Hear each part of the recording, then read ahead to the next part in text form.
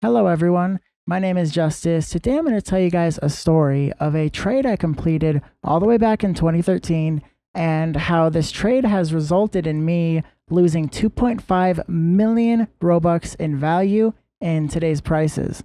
So, uh, off the top, like I said, it was back in 2013. It's not like I got scammed or anything. It's just if you've been trading for a long time, items will fluctuate in price, and everyone has that one item they regret trading away because you trade it away and it blows up in price when it's gone. Anyway, in the background is some Arsenal gameplay. This was a fun match. I get like a quad at one point. It was pretty fun. Um, and then maybe I'll add like a sword fights on the heights kill streak after or something. Uh, we'll see. So if you guys have seen my recent life stories, I talk about how I was scammed one week after the trade system was released on Roblox. Um, I got scammed because I was kind of a novice back then. Everyone was. Um, the economy and the market was also not as evolved as it is today. So even though I got scammed in July of 2012, uh, for the rest of the year of 2012, I kept trading and I profited a decent amount. Um, but the biggest win of all was yet to come. In February of 2013, there were some rumors circulating around the forums that a new green sparkle time fedora was going to be released as a new limited U item on St. Patrick's Day. Uh, if you guys, you know, remember that all of the sparkle time fedoras started getting released, and um, they always had 100 stock and 10,000 robux. So uh, we all kind of knew that once it was confirmed, that was going to be the the price of it and the amount that there was going to be available.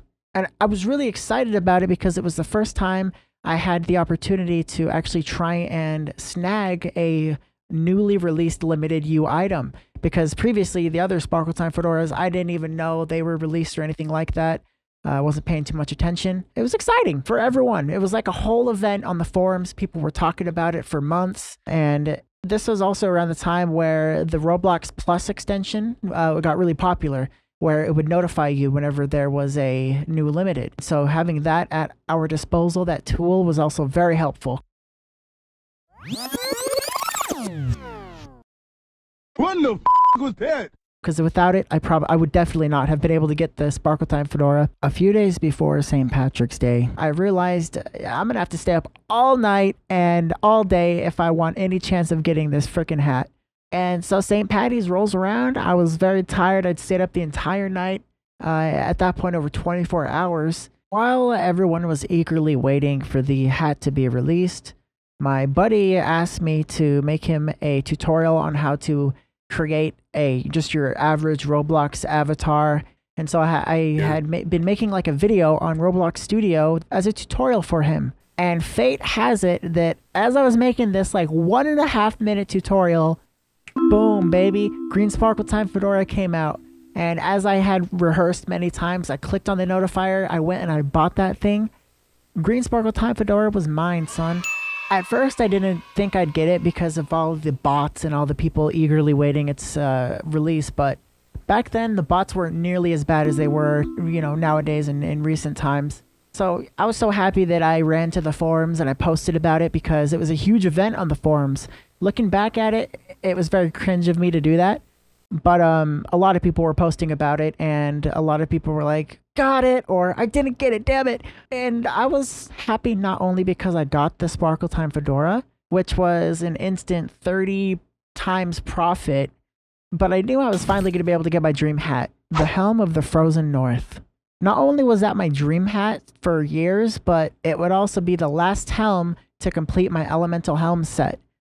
And back then, having that helm set was amazing. The helms were very rare and were worth a lot back then. Nowadays, they're still kind of worth a lot, but not nearly as much as all the other items on Roblox.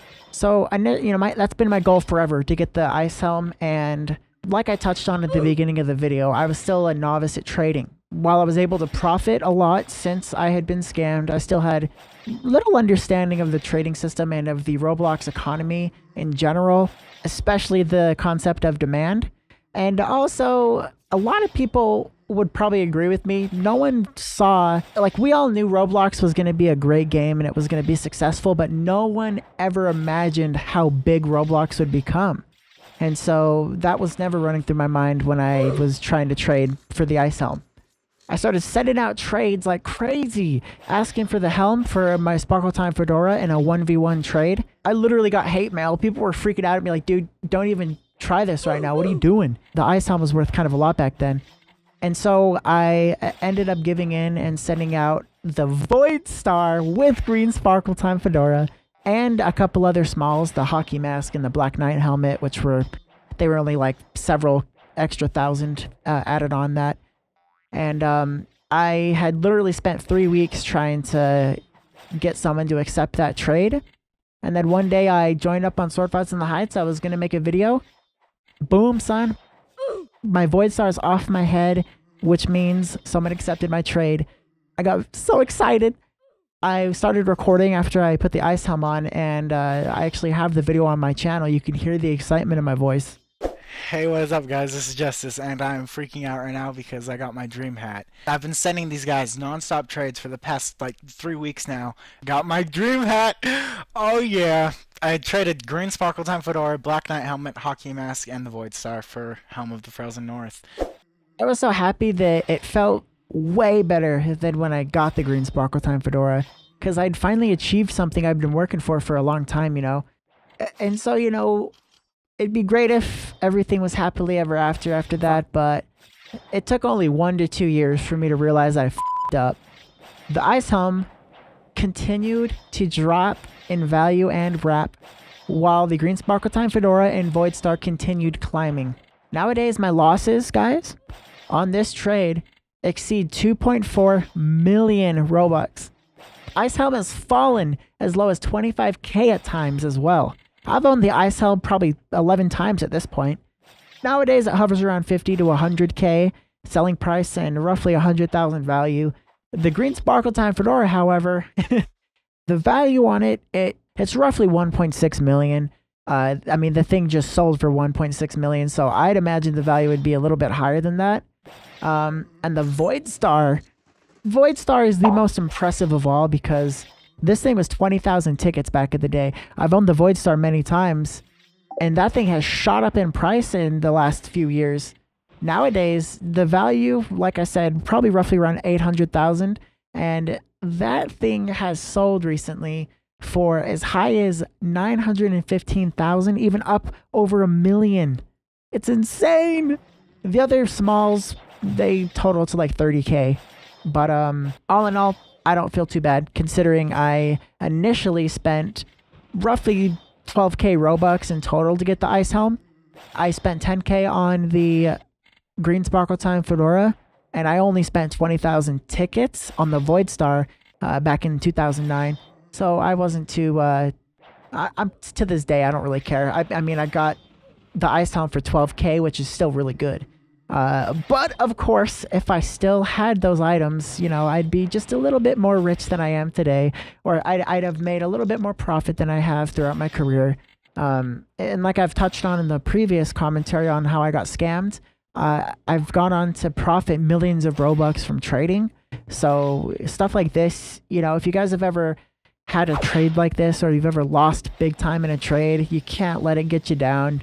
Uh, just move forward positively and but, you know, and like I said before, I'm not alone when it comes to regretting trading away an item. Uh, when, you know, if you kept the item, you would actually have profited a lot more than trading it away. That's happened to basically everybody who's an old trader. And so, my question to you guys is what kind of items have you traded away that you regret? And how much were the total losses on it? I, I really want to hear, so drop that story down in the comments if you guys would like to. Anyway, I will say that while the Green Sparkle Time and the Void Star, I really am kind of bugged about that I traded away. I think the biggest thing, one of my one of my top three that I regret the most is Dominus Rex. Because that thing, back when I would get, I got it a few times. It was like 300k. yeah, Rex is easily worth 1.5 to 2 million nowadays. So, you know, I could basically go back and look at a lot of my items that I've traded and say I regret trading them. But uh, anyway, so that does it for this video. Hopefully you guys enjoyed. Check out one of the other videos on the screen if you would like to. Either way, guys, thanks for watching once again.